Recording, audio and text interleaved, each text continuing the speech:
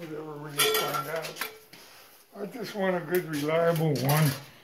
So when we start, uh, start it up, I don't want to have to wonder, well, is it the Is it was that my is issue it or the not? Yeah. distributor or what is it? yeah. So I want to make sure all the parts I put on are uh, functioning correctly.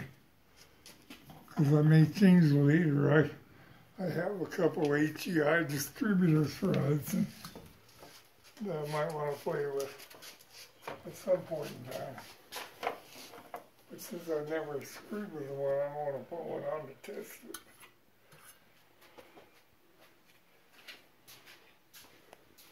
I, I haven't oiled it or anything. Might be worth with a couple drops of oil in it.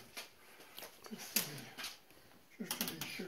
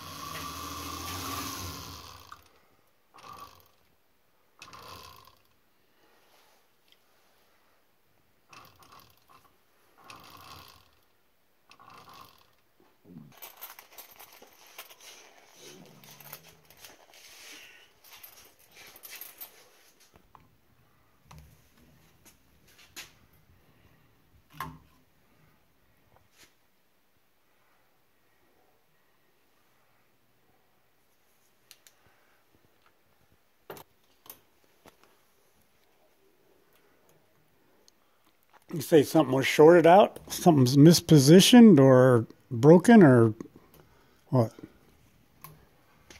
Spring here was out of place. Spring was out of place.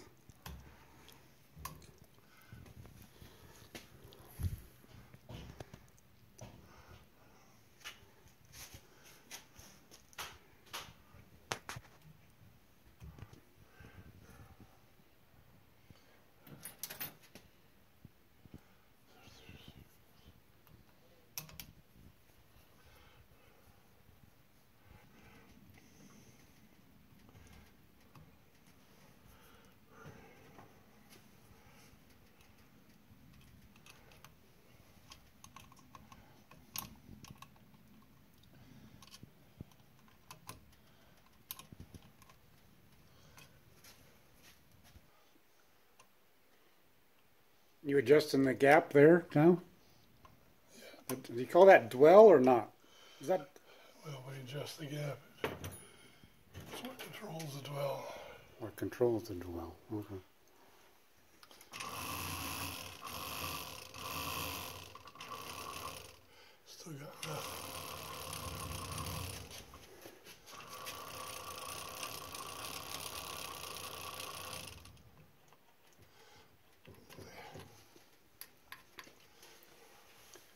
Oh, there would be a spark between the point tips, right? Right at that contact spot. You'll see a spark. Is that what you're looking for?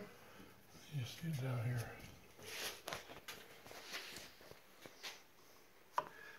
Yeah, the wire is busted. Oh. There may be an easier way to do this. There's not a piece of this one that's worth saving.